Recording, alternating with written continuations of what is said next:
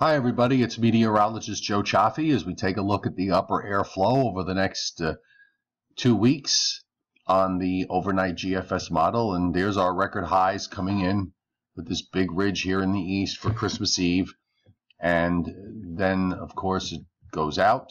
We get a little bit of a break but there's still that ridge off the southeast coast going into the weekend.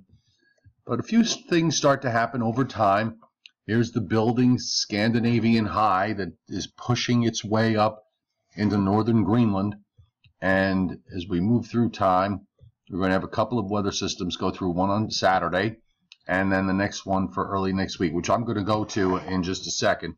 Now, what happens over time, and again, I mentioned this last night, that the pattern to me looked like it was getting a, a little more interesting in the broad sense, nothing specific, but our flow, instead of coming straight from the Pacific, is coming a little bit more from uh, north, northern Canada. It's not cross-polar uh, because there's no connection that goes all the way up, uh, but it's certainly not as extreme in terms of the temperatures that what we've been seeing. And it looks like it wants to shoot down one trough after another into the east. So sometimes in these kinds of situations, you have to be a little careful.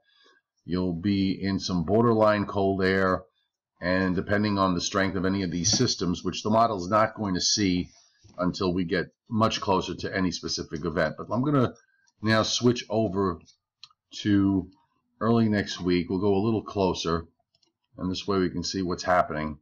And I want to go to the surface map so we can play it all out that way. And here we go, starting with um, tomorrow. And we're going to put it in motion. If it wants to go in motion, please go in motion. there we go. Let me try again. There we go. And here's our rain for Wednesday. Looks like another decent shot of rain that comes through. Then on Thursday, ahead of the cold front, a couple of stray showers, and that's just about it. Most of them fall apart. We turn a little cooler and drier Christmas Day as a weak high builds in, taking us into Saturday. Now, Saturday night, here comes another wave that goes up toward Detroit, and we get into some rain into Sunday morning, but then we get warm sectored again. So Sunday is liable to be another warm day with temperatures maybe getting into the 60s. But then we have a more important cold front with a bigger high up in Minnesota. Now, what's going to happen is that high is going to build across the top in southern Canada here, and we have deep low pressure that's going to be running up towards St. Louis. And the model at least wants to bleed down some cold air, so it actually has a little bit of freezing precipitation here ahead of the main area of precip to the south as the low moves into central Illinois. At high, there's no block, so it gives way. And you can see it's actually brings some snow to New England for a, a switch, and even has a band of heavier snow. Now we're out to Tuesday, Monday night into Tuesday of next week and it actually still wants to ridge the high down so that it does show ice through much of upstate New York and in through Massachusetts and northern Connecticut with some snow in New England. And then that low uh, peaks out and goes into the goes near Toronto and you have a redevelopment that of some small of some sort a little wave here a little wave on a front action here with an onshore flow but that's then that's gone and then it has another wave that forms on the front that stays offshore and this is some colder air starts to come in. So now we're going into New Year's which has it probably back down to seasonal or maybe even a little bit below normal uh, as we start the new year.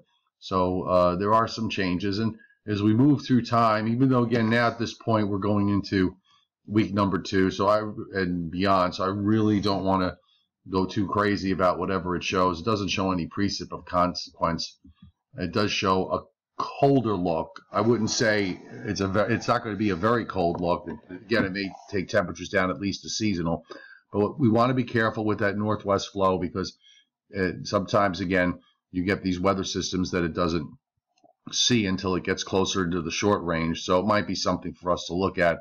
And finally, let's take a look at the uh, two meter temperatures and go toward, um, let's go to the bigger region so we can see what's going on. in the blocking area. And you can see up here, we'll start it over again. You can watch the process happen all the way through. Um, but you'll watch and you can be able to see the warming that goes on. This is the initial time frame, and now we're moving through Christmas, and you can see how the warmer air is trying to push northward up into the Arctic.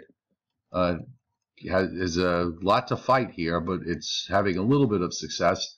And then as we move toward the end of the period, we uh, see that it has kind of a definite finger of warm air that's pushing now into the Arctic region. So this is what we have to continue to see is that the warm air continues to take over in the regions of the Arctic, uh, causing the cold air to get displaced and pushed further south. So at least that trend continues for the time being. We're going to have to go through a couple of weeks of transition to see where we ultimately wind up. And again, as a note of caution, the pattern switch may not necessarily switch to a pattern you may like. So um, enjoy your Wednesday.